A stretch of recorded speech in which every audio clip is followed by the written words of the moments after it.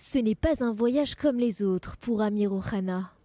Le président israélien de la Knesset est arrivé à Rabat ce mercredi pour une visite officielle, la première du genre envoyée par un pays musulman à un président du Parlement israélien.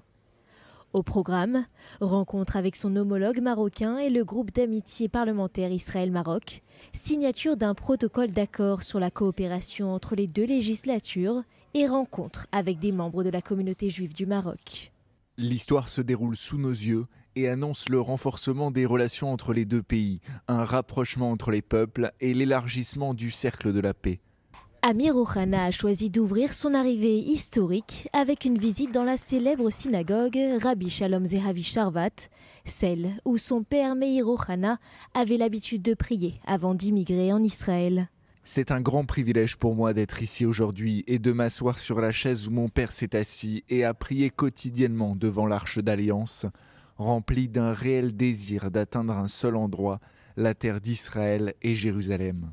Puis, journaux à la main, il s'est rendu dans les rues de la capitale marocaine. Dans ses tribunes, Amir Ohana a affirmé que le Maroc n'est pas pour lui un pays comme les autres et s'est dit fier de ses origines marocaines. Il a également mis l'accent sur le cadre de paix et de prospérité dans lequel vit la communauté juive marocaine et que Sa Majesté le roi Mohamed VI est le garant de la sécurité de tous les citoyens marocains, quelle que soit leur confession.